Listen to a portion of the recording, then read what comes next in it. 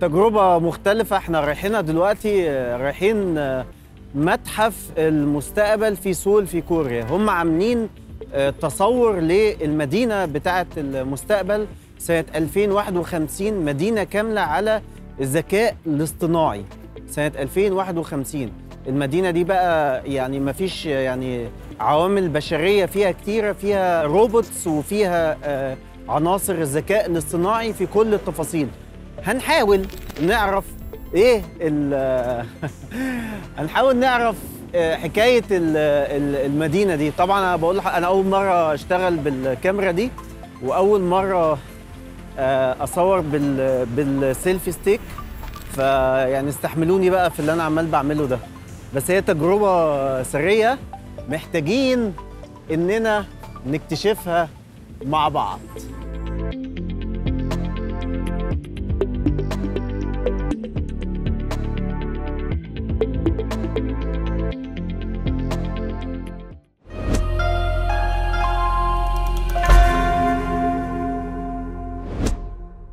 ده ال- الجيت بتاع آه، دخول المستقبل يعني بوابة المستقبل إلى آه، المدينة اللي قايمة على الذكاء الاصطناعي سنة 2051 المدينة هتكون كده وزي ما أنتم شايفين عاملين روبوت آه، روبوت جيتس الروبوت جيتس دي فيها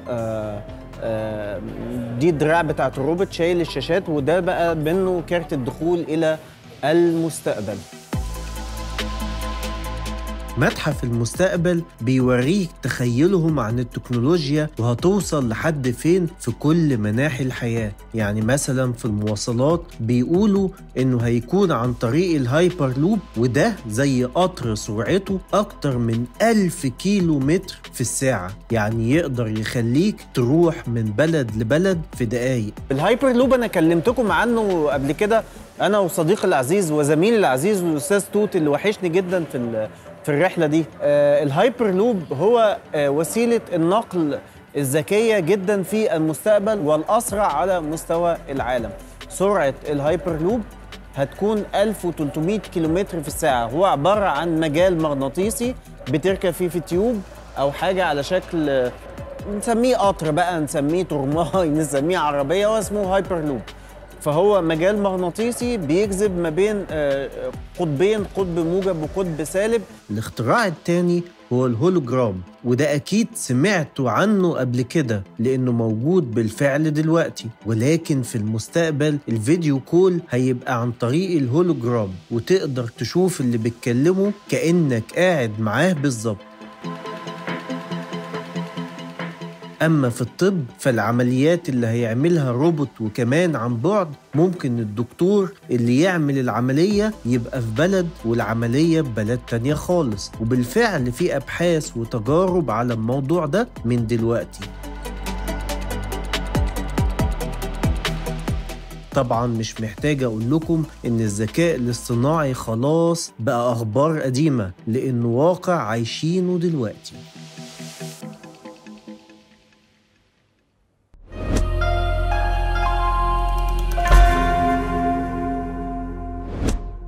ما ينفعش نيجي هنا سول غير لما نسأل على بنتنا آية.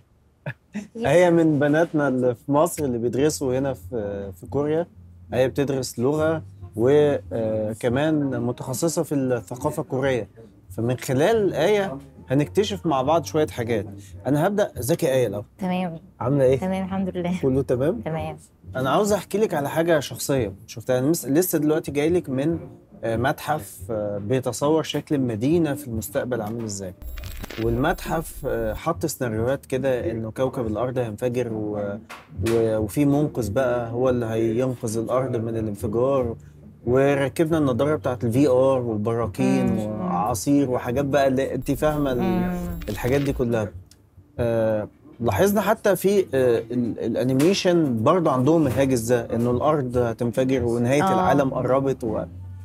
ليه ال- الثقافة الكورية أو في المخيلة بتاعتهم دايما فكرة إنه في دمار جاي أو في حاجة عارفة اللي هو إيه العالم هينتهي مش عارفة بالظبط السبب ممكن يكون إيه بس ممكن آه، بسبب إن هم عاشوا قبل كده حرب حرب أيوة. الكوريه وقبلها مظبوط. كان حرب اليابان مم. ممكن بسبب كده هم دايما عندهم استعداد للحرب دايما اللي هم دلوقتي برضو في فترة هدنة مع كوريا الشمالية واحيانا بيحصل تهديدات ما بين الكوريتين يعني فممكن بسبب كده هم دايما آه عندهم الهاجس ده. تأثير فترة الحرب الكورية على الثقافة الكورية أو على عليهم واصل لحد فين؟ أنا عارف إن في سلام عندهم لما حد يسلم على التاني. يقول له أنت أكلت النهارده ولا لأ؟ أكلت آه. آه. آه آه. فيعني هم عاشوا فترة جوع كبيرة آه مش آه قليلة. ده حقيقي آه, آه.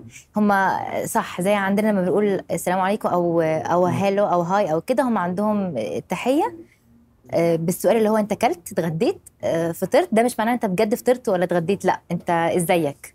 انت فهم زي- آه ممكن آه دي برضو راجعة إن هم زمان فعلا عاشوا فترة آه، جوع زي ما بتقول في الحرب وكانوا بياكلوا حاجات آه، ما بياكلوهاش دلوقتي لما بيفتكروها بيرجعوا زي لحم الكلاب والكلام ده.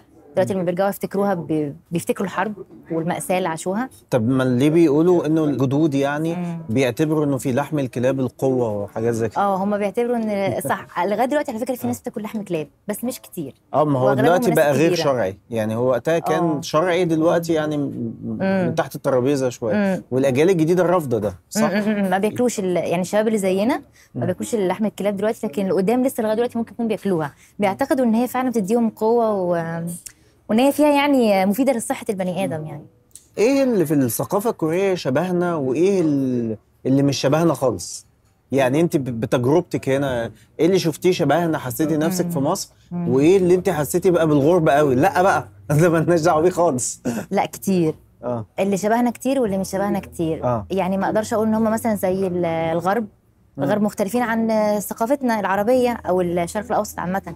فهم هنا يعتبروا مجتمع محافظ مم. لا عندهم برضو ثقافتهم شوية محافظة مجتمع مقفول على نفسه برضو هم لسه في الكام سنة الأخيرة بدأوا يتفتحوا على العالم ويقبلوا الثقافات الأجنبية والأجانب حتى إحنا يعني مثلا من زمان لما مم. جيت زمان أول مرة جيت كوريا ما كانش فيه قبول قوي لفكرة الأجانب في كوريا زي دلوقتي مم. دلوقتي خلاص عشان في أجانب كتير دخلت كوريا فبدأوا يتقبلونا لكن زمان لا فهم شوية شوية بينفتحوا على العالم بس مم. هم بشكل عام لا لسه مجتمع مغلق شوية على نفسه وبيقدسوا قوي ثقافتهم وبيحبوا يعيشوا في قوقعتهم زي ما بيقولوا يعني. مم. ده لو هنقول شوية حاجة شبهنا. آه. إن هو مجتمع محافظ لسه. مم. لو حاجات مثلا مختلفة عننا لا كتير صدمات برضه بقى انت جالك صدمات. طبعا يعني لحم الكلاب ده جزء من الصدمة. ده كانت صدمة. آه أكيد آه. آه. بس كتير والله يعني. مم. يعني هما في برضه حاجات من الغرب يعني مجتمع مفتوح برضه شوية. حاجات آه، زي الغرب بيقبلوها. إحنا لسه عندنا لا ما بنقبلهاش. سواء في التعاملات مع البشر. مم. أو آه، مم، أو الانفتاح في التفكير برضه مم. هم هنا بشكل عام بني آدمين مش من اللي زينا في مصر اللي هو تحس إن أنت تسلم عليه ويبقى تاني يوم صاحبك لأ. مم. هم بيقدسوا قوي الفردية لكل شخص. يعني ما ما ينف- ما ينفعش تبقى صاحب مع حد كوري قوي من أول مرة لأ. ولا من. تاني مرة لازم تاخد وقت. وقت آه آه. هم مش هم يعني ما friendly ياخدكش العشم قوي في لا، ال- لا. آه مفيش عشم. هم friendly يبانوا friendly بس لا مش من أول مرة تعرف تاخد عليهم وياخدوا عليك ويعتبروا تعتبروا صحاب أو لا. مم. بياخدوا وقت. بياخدوا وقت. مم. اشترك الآن واحصل على 50% خصم مدى الحياة على اشتراكات premium السنوية والشهرية. استخدم الكود على Watch dot com